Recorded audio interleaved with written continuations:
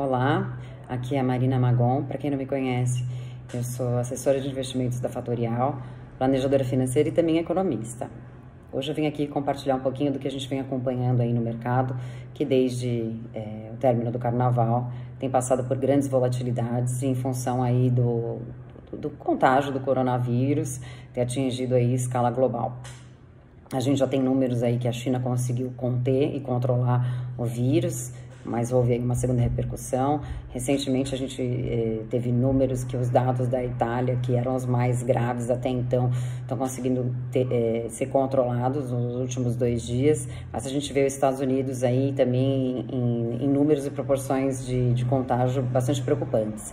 Inclusive, hoje pela manhã saíram números de, de pedidos de desemprego é, o dobro do que foi imaginado. Então, vocês imaginem isso daqui a um mês e meio no Brasil, que é quando a gente vai atingir o ápice da nossa crise. É, bem, o ponto aqui é, se você ainda não tinha feito um planejamento financeiro, é, tenha em mente que agora vai ser necessário usar a economia criativa. É, fique como lição que é muito importante você ter o equivalente a seis meses do seu custo de vida numa reserva de emergência, tá? E falando inclusive de investimentos financeiros, Obviamente que com quedas acumuladas aí ao redor de 30% a 40% no Ibovespa no último mês, que vem aí persistindo em, em, em volatilidade, né, ainda mais é, com tantos números alarmantes aí ao redor do mundo, se você está em renda variável, não é o momento de dar saída, porque é realização de prejuízo, a não ser que você não tenha outra alternativa. Entretanto, se você conseguir aguardar, é o ideal.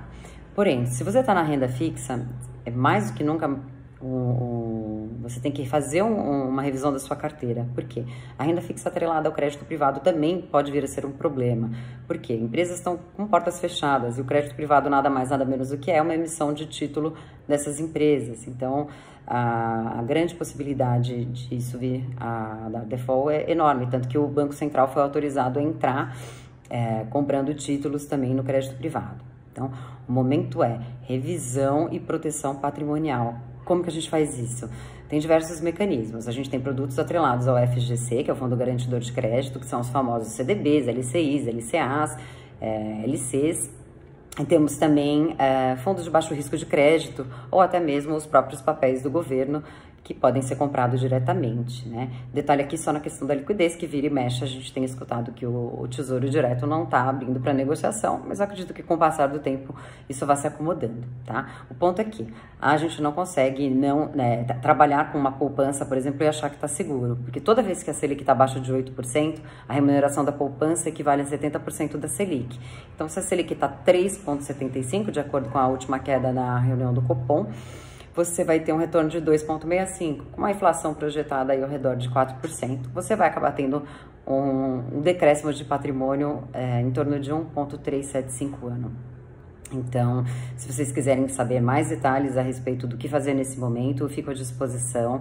Eu tô na rede, então se vocês quiserem é só me chamar no Outlook, no no, no, no, FaceTime, no, no, Facebook, enfim, me mandarem uma mensagem que eu, que eu tô à disposição para a gente conversar em detalhes, tá bom? É, eu fico por aqui e a gente vai conversando, tô à disposição, se cuidem, beijo grande.